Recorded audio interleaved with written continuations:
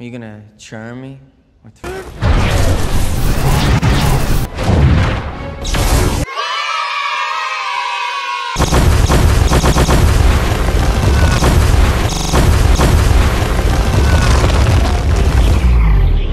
We get to start over somewhere new.